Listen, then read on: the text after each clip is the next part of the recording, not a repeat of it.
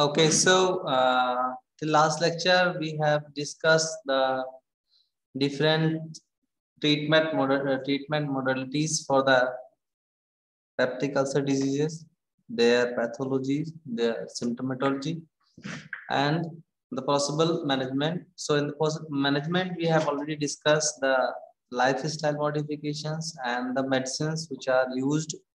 Nowadays, the medicines are very much useful and the very few patients are required the surgical procedure for this peptic ulcer surgery, peptic ulcer diseases. So today we discussed some uh, surgical procedures which may be performed in case of the peptic ulcers patients. So uh, the indication for the surgery we already had discussed just for the quick recap. The patients who fail to respond to the medical therapy and the patients who wants quick relief and because uh, the patient fed up with this recurrence the of the disease as the nature of the duodenal ulcers which recur again and again. Or patients have very long time history of the, having this disease chance of the malignant transformation. So in that cases surgery may be indicated. Patients having repeated pain patients either uh, patients present with the sign of the complications of the peptic ulcer, just like the patients having obstructions due to scarring of the pylorus and the gastric outlet obstruction syndrome, or the patients having hemorrhage or the perforations. So or either uh, the surgeon is suspecting the any kind of the malignancy, duodenal uh, cancer or the gastric cancer in any patients, then in that case the surgery is indicated and we, uh, we must uh, take the patient to the surgical process. So before doing the surgery, the counseling of the patient is very much essential because uh, surgery, gastrosurgery especially are not uh, always having uh, uh, without complication. There must be some sequel, there must be some complications to be happen after the surgical procedure. So patient must be aware about, uh, about that complication, that what kind of the complications patient may suffer, what kind of sequel may be happen after the surgery. So that's why the and the counseling of the patient is very much essential. So now we discuss about the surgical procedure. So first surgical procedure, which is uh, which is indicated in the gastric ulcer, uh, that is Billroth first, Billroth first gastrectomy. And for the duodenal ulcer, there's other procedures, the Billroth second gastrectomy, gastrojejunostomy, truncal vagotomy and drainage, highly selective vagotomy, truncal vagotomy and antrectomy. So these surgical procedures can be performed in the duodenal ulcer patients where the patient may be benefited with these surgical procedures. So one by one we discuss first the Billroth gastrectomy because the Billroth first and Billroth second are almost the similar uh, procedures just a little different. So first we discuss Billroth first gastrectomy. As the name suggests, the Billroth, who, who were the first surgeon to perform this procedure in 1881. This procedure was performed for the gastric ulcers. So here we see that uh, gastrectomy, the name suggests that we are going to remove the part of the stomach. So the most common part of the stomach which, which, uh, which undergoes into the ulceration, that is the lesser curvature. So in these cases, in this case, when the patient is indicated for uh, surgery and patient having uh, the uh, uh, ulcers in the lesser curvature. So in that case, uh, here we have to remove the half of the stomach that include the greater greater curvature uh, sorry that includes the main part of the lesser curvatures along with some part of the greater curvatures and we create a stoma.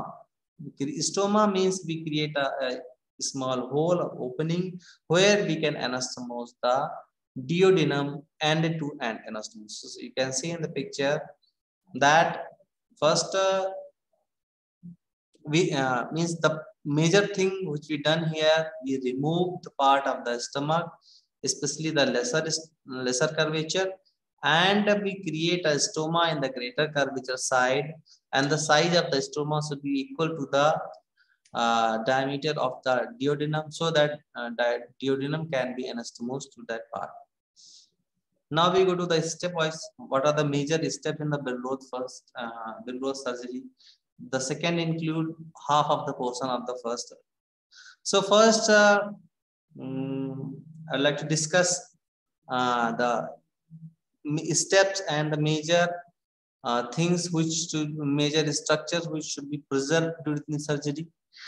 So uh, the the access of the that that uh, stomach and duodenum is taken through the midline, right? Uh, either midline incision or right paramedian incisions. Uh, should be long from epigastrium to up to the umbilicus. So uh, to get the better access of the both organs. Then the first step after reaching into the abdominal cavity, we identify we identify the structure, we identify the both structure duodenum and uh, stomach, and then we have to identify the site of the resection, means which part we are going to resect, and that's why the extent of how much part we are going to remove that should be estimated properly after the physical examination, after the direct examination. Nowadays, the laparoscopic surgery is also performed. So in that also the similar procedure, first we have to look the both organs that which part you are going to uh, excise, excise and how much part of you are going to excise. Then second step should be you have to detach the and mobilize these these uh, these both viscera, uh, duodenum as well as the uh, this uh, stomach. You know that the stomach is attached to the uh, lesser curvature uh, through the lesser omentum and the greater omentum. So that's why we have to separate the the uh, lesser curvature to the lesser omentum and right uh, greater curvature from the greater curvature uh, omentum. So, to, after the clamping and the ligation of the vessels, major vessels uh, through the oment of the omental, uh, we after ligation of the vessels, uh, clamping and ligation, we have to remove, we have to detach the stomach, we have to free the stomach from this omental so that we can mobilize the stomach and we, can, we have to take out the stomach from outside the wound and then uh, that, that uh, take a look that which part we are going to excise. So then the next part should be after the mobilization of the duodenum and the stomach. Uh, second part, uh, next step should be to divide the stomach, uh, duodenum and the stomach after the clamping. So where should I, where should we clamp? So, you know, the, in the, uh, in the, in the duodenum, we have to uh, clamp the duodenum one centimeter from the pylorus or the one centimeter from the ulcers. If the duodenal, for if you are doing the procedure for the duodenal or the second, in that case also we have to clamp the stomach one centimeter distal to the uh, pylorus. And in the in the stomach we have to clamp 2 centimeter proximal to the lesser curvature where the the the, the ulcers are there. Understand? So proximally 2 centimeter and distally 1 centimeter we have to clamp. And we have to divide the uh, structure after in between clamps means two clamps in the duodenum and two clamps in the stomach. Then in between clamps we have to divide the uh, divide we have to excise. And then with the middle part we have to remove. The next step should be anastomosis of the both ends so in the in, in the stomach you can see if doing if we are doing the Billroth First, that duodenum has a small uh, lumen while the when you divide the half of the stomach, you leave the long uh, it's long opening. So in that we have to start suturing the stomach just like in the picture is from the uh, lesser, lesser curvature part and uh, towards the greater curvature. Lesser curvature to we have start switching from here to here. And we we leave the small stoma uh, as equal to lumen of the duodenum. Then we anastomose end to end anastomosis of this part. So here we have identified uh, uh, anastomose this part. Then second part uh, next part should be the closing of the wound.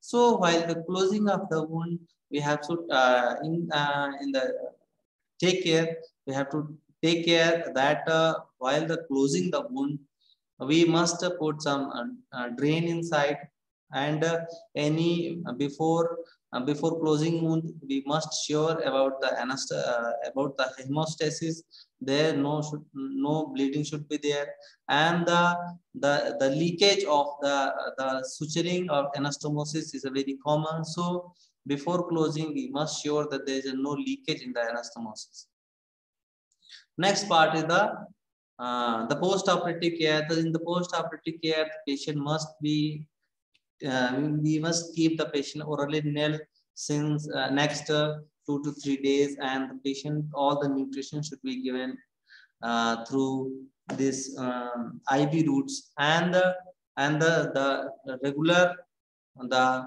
nasogastric tube insertion should be there so that uh, the gastric content should be aspirated. Uh, that will avoid the um, because after the surgery, the intestine, the gut we go into the uh, non-mobility, uh, non uh, become non-mobile, and the paralytic ileus go into that situation that bowel movements are almost stopped uh, due to this, this surgical procedure. So that's why to stop the uh, intestinal obstructions, we have to uh, we have to suck all the gastric contents, all the gastric uh, secretions to avoid this gastric distensions and later on the other complication. So this post-operative period, uh, the we must take a close look to the patient for the any anastomosis leakage, any hemorrhage, any kind of the complication may happen. So we must very carefully uh, after the surgical procedure in the post-operative period. So this by uh, doing this, by this method, you see the these are the steps in the Billroth first gastrectomy. Now come to the Billroth second operations. So here, uh, actually this procedure was performed accidentally. Uh, uh a surgeon was planned to do the uh, Billroth first.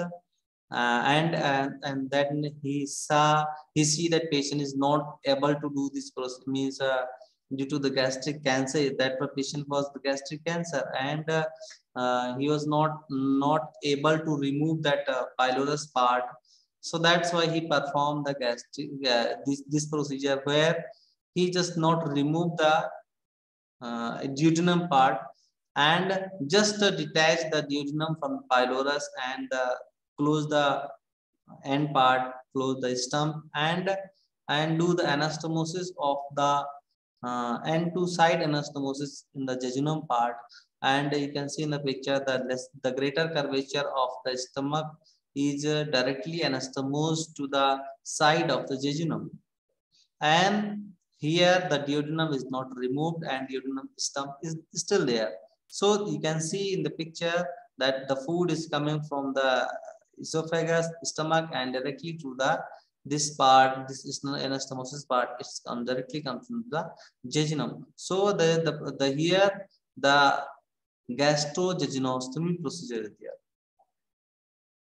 After excising this portion, this uh, gastric uh, gastrectomy means the Billroth first include the gastrectomy and gastroduodenostomy while the Billroth second having the gastrectomy followed by the gastrojejunostomy. So means the, the stomach is directly anastomosed to the jejunum part. All the procedures are and the pre-operative and post-operative uh, cares are similar to the Billroth first operations. So that's why we have performed the Billroth second. Billroth second uh, uh, operation is more significant and in, is more uh, helping uh, the and less complication in the patient of the duodenal ulcer. So nowadays, Billroth first is very rarely performed when it is required. Then Billroth second is most com uh, more commonly performed than Billroth first operations. Next procedure, the truncal vagotomy and drainage. So truncal vagotomy is vagotomy means we have just uh, denervated the vagus nerve supply because we know we, uh, the the vagus nerve has uh, the stomach has rich uh, the supply of the vagus nerve that induce induce the secretions of the gastric acid secretions. So when the patient has hypersecretion in the uh, hypersecretion of the gastric acid that may be caused that that causing the gastric ulcers or the duodenal ulcer. So in that case, uh, we we just uh, disconnect this uh, vagus nerve. We just disconnect this. You can see in the picture, we just disconnect the vagus nerve after the ligation. We just disconnect the vagus nerve. Both is both their anterior and both posterior, uh, anterior and posterior, both uh, um, both nerves, uh, both parts of the nerve, anterior and post means both segment we have to denervate it. But uh, the problem is that after doing this vagotomy, the, because you know the vagus nerve is mixed nerve, both have sensory and motor part. So if you disconnect this this uh, this uh, this portion from the through the nerve, so that portion become uh, less motile or amotile. So that's why we have to do some drainage procedure. Drainage procedure means we have to facilitate to uh, uh, the food to move forward in the in, in the alimentary canal because there is a uh, when we denervated this antrum part of the and the body part of the stomach there is a the peristalsis movement are reduced so much so that this the food is not moving by this peristalsis movements that's why to facilitate the movement of that food, we have to perform the drainage procedure. Drainage procedure may be the pyloroplasty or the gastroduodenostomy. Pyloroplasty is performed in the patient where when the pylorus is a little is constricted and uh, patient uh, the, the food is not able to move through pylorus with this their whole uh, gravitational effect or through this slight uh, peristalsis movement so in that patient, pyloroplasty is performed. We discuss the pyloroplasty procedure later uh, videos. But this in the gastrojejunostomy, uh, in that case, uh, gastrojejunostomy is very easy uh, to perform and very easy to done. That is more effective in the, here, just like in the previous Billroth second, we have to not excise, we are not going to excise any part. Just uh, we have to anastomose the jejunum through the greater curvature of the stomach so that the food is directly uh, passed through the from the uh, stomach to the jejunum directly. And we are not going to excise any part so the, all the gastric juices secreted all the bile coming from the duodenum is mixed into the jejunal part so the the the digestion of the food is very less affected. So this vagot truncal vagotomy and drainage the also procedure which which was, which was performed later. Pyloroplasty we already had discussed i think this procedure. Uh, when do the pyloroplasty to increase the size of the lumen of the pylorus? We just make a longitudinal incision in the pylorus and close this incision long uh, horizontally. Just like you see in the picture we are making an incision longitudinal on the pylorus and we are closing the incision horizontally so that the the the, the size of the lumen of the pylorus is increased and widened so it facilitates the proper drainage of the food from the stomach to the duodenum. Next procedure is highly selective truncal vagotomy in the vagotomy, in the truncal vagotomy, there is two trunk of the vagus nerve, anterior trunk and posterior trunk. So we are just uh, just ligating the both trunk and divided. But in the highly selective truncal vagotomy, we, we go further. We find the we find the the the part of the nerve of the uh, part of the vagus nerve which is which is supplying to the parietal mass who who who which is responsible for the uh, hyper secretion of the gastric acid. So here we come, we are not uh, disconnecting the complete uh, section of the vagus nerve. We are just uh, disconnecting the particular segment of that nerve. So in that position, uh, in this, in this uh, um, operations, the drainage procedure is not essential because we are not com completely disconnecting the vagus nerve supply. We are just uh, disconnecting only some part of the stomach, some part of the parietal cells which are uh, responsible for the hyper acid secretions so that's why in this uh, procedure this drainage procedure the gastrojejunostomy or the pyloroplasty may be not essential so that this this this was the most satisfactory operation performed for the duodenal ulcers in in earlier days. And uh, this was considered as the gold standard surgical procedure for the duodenal ulcers because the uh, complications are very much less and the procedure is very easy. And uh, uh, the less bleeding and very less uh, discomfort to the patient. And we are going we can do these procedures but nowadays these all the surgical procedures are very less performed very less required due to the good medications are there uh, anti-secretory medications are there so the patients uh, are very much reduced for that uh, surgical interventions. Next procedure is truncal vagotomy and uh, antrectomy. So here uh, the the procedure uh, the the this procedure is indicated in the patient where the the ulcers are there and the chronic ulcers are there and there is a chance of conversion of these ulcers to the malignant transformation. So in that case, we have to excise that part.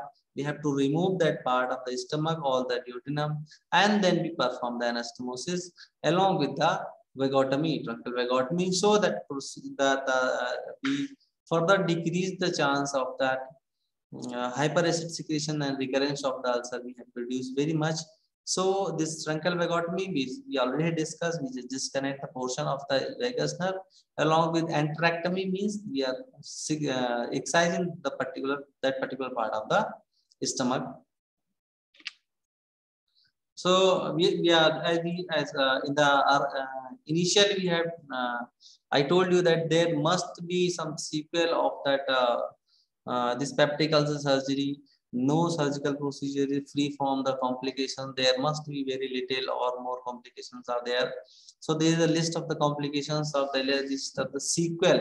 Means the that may happen after the peptic ulcer surgery. That includes in the early stage the paralytic ileus the hemorrhage from the surgical side intestinal obstruction may be there because the food is directly entered from the stomach to the uh, jejunum and uh, because of the less motility in the stomach and because the less stomach is there the food is not properly digested and properly masked. So the large bolus if inter, uh, directly enters into the jejunum that may cause the intestinal obstruction in, uh, intestinal obstructions and the leakage of the stomach is also very much very much common complication that may occur that's why we must uh, while the closing the stump of the duodenum uh, in the Billroth second procedure, we must take care that the duodenum should not be inflamed. We, we must uh, uh, avoid the st stress suture so that uh, the duodenum is not going to the stress, the tissue is not going to stress and not going to inflame and rupture. So that uh, the, the, the, the, we can avoid this leakage and later on um, how to uh, know that the patient having the uh, the leakage in post-operative period if uh, after two, to three days or within seven days if the suddenly patient feel severe pain and the peritonitis is there and the the basal pneumonia may be there in that patient and uh, because the gastric content uh, is, is, is is leaked into the uh, the, the abdominal cavity, peritoneal cavity, and there may be peritonitis may be there. So if the in the post-operative period, the patient suddenly feel the peritonitis, pain, fever, and all that, then you may suspect the leakage of the stumps. Then uh, other complications just uh, which can occur little later. That is a recurrent ulceration. It's also very very much common that uh, the reflux gastritis is there because the st stomach uh, become very less, in the, especially in the uh, first surgery, so that the stoma, the joining part of the duodenum and the stomach. So due to the reflux of the bile, that part the may uh, undergo into the recurrent ulcerations. And the most uh, uh, difficult uh, ulcerations uh, that may cause the fistula is the gastrojejunocolic fistula. You know, we, we see in uh, in the abdomen, you know, the, the colon is just above this stomach. So when you perform the gastrojejunostomy and the, that is that that uh, stoma part, that uh, anastomosis part, if leaked or if there is infected, then just above there is a duodenum. So that may cause that that that, that may cause the ulceration in the colon wall and may cause the gastrojejunocolic fistula. So that gastrojejunocolic fistula is very much uh, uh, have very much uh, difficulties for the patient because that patient may suffer the uh, severe diarrhea after every meal and the very foul smelling vomiting may be there and the vomiting may contains the the fecal matter. So the, that that gastrojejunocolic fistula is suspected in the in the post-operative period if patients suffering this kind of the problems. And the small stomach syndrome is there because uh, we are uh, in the both of the the Billroth first and Billroth second we have removed the part of the stomach so stomach will reduced another uh, procedure where we are uh, denervating that that part of the stomach the through vagotomy. So that that the movement of that uh, uh, reduce the movement of the stomach. So that that uh, the the reflex relax relaxation of the stomach is not there because we have denervated the, the stomach through uh, stomach and by disconnecting this vagus nerve. So when the receptive relaxation is not there in the stomach that's why the stomach feels very uh, feels very early means when the patient take little food and and, and then the early satiety is there. Means the uh, patient is not able to take the proper food even a small amount of the food may uh, may end satiety and, uh, and the patient feel uh, filled his stomach is filled with the food uh, though he, he or she has taken very small amount of food because stomach is not relaxing. And that may cause the irregular on the long time, it may cause the weight loss in the patient because patient is not able to take the proper nutrition. So nutrition deficiencies may be there. Bile vomiting is also a complication which can occur due to the reflux of the bile through the duodenum to the stomach that may cause the bile vomiting and the the early dumping and late dumping. This dumping is a phenomena, the syndrome is, uh, is there which occurs usually after the post-operative period uh, in this, uh, after this, in, in this surgery. So in the next slide, we discuss the early uh, dumping and the late dumping. They are the uh, typical phenomena which, can, which occurs just after taking the meal and after the uh, two to three hours of the meal. So along with this early and then uh, late, dump, late dumping this post vagotomy diarrhea where the patient feels very uh, the hot uh, the boiling water is passing through the uh, through the diarrhea. And uh, this occurs after the uh, vagotomy. So it's uh, complications that can occur. Malignant transformations is also have seen associated with the surgical procedure in few cases that after the surgical procedures, the, the ulcer changes into the malignancy. And the nutritional consequences it should be there we are, we are, because we are changing the, the natural route of the food and we have diverging the route. So that's why the, the absorption and the digestion is also affected. So that nutritional consequences may cause the, the different type of the anemia and the patient may uh, have the weight loss. Gallstone is also sometimes have been associated in the, in the post-operative period of this, uh, this type of the surgery. So here we discuss the early dumping and late dumping. Uh, early dumping syndrome is there when the patient suddenly take the food when the patient take the food and after uh, just after uh, almost uh, immediate taking the food the patient having the symptom of the epigastric fullness sweating lightheadedness and the tachycardia cold and colic pain and diarrhea that usually occurs in the uh, in the patient when uh, taking this especially uh, carbohydrate rich food. So what happens? So why early dumping occurs? Uh, uh, when the patient take the food and uh, in, after the in Billroth first and Billroth second surgery uh, surgery uh, have done in that patient. So when the patient take food then the food is directly entered to the jejunum. After the uh, food into the stomach and into the uh, directly from stomach to the jejunum. So this uh, this high osmotic food fluid uh, high osmotic food going into the uh, to the jejunum. So due to that uh, high osmotic value the small the, the large amount of the fluid is sequestrated into the stomach and the in the jejunum so that the patient went into the hypovolemia because the, the to counter that high osmotic value in that food the the great amount of the fluid is sequestrated from the blood to the, the uh, intestine the uh, epigastrium. So that the epigastrium fullness is there sweating lightness and tachycardia and all these things maybe these symptoms may, uh, may be there in that patient. That condition is called the early dumping the late dumping phenomena is there, which occurs after the two and a half hour after patient uh, after taking food, and uh, where uh, sometime when the patient take the food, then after two, uh, two to three hours, uh, the patient suddenly feels tremor, faintness, and uh, nausea, epigastric pain, and certain patients suddenly lie. That phenomena occurs due to that the reactive hypoglycemia. So what happens when the food directly into the uh, from the inter from the stomach to the duodenum uh, in, in and then uh, that that uh, that food has the rich in glucose. So that reflects the uh, gives sensation to the pancreas that the, the food is having high glucose content. So so to to, to consume that high glucose uh, uh, high glucose level pancreas release high amount of the uh, insulin that causes the hypoglycemia, reactive hypoglycemia in that patient, and that patients may may having this tremor and faintness, these type of the symptoms.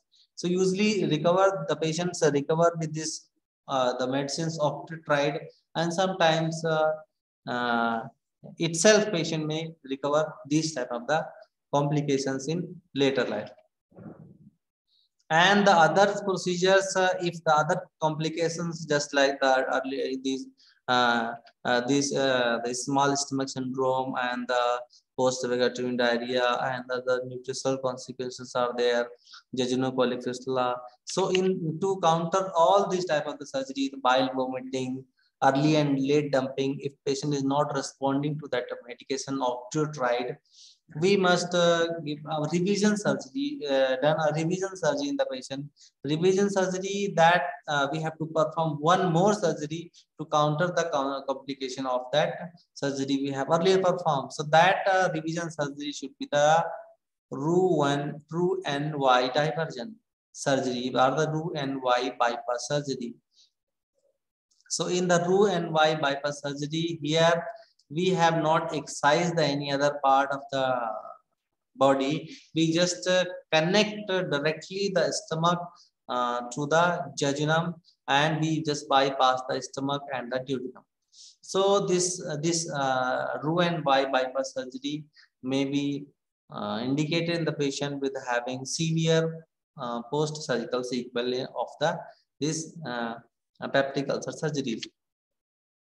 Uh, now the complications of the peptic ulcers are there, perforations, bleeding, and anastomosis.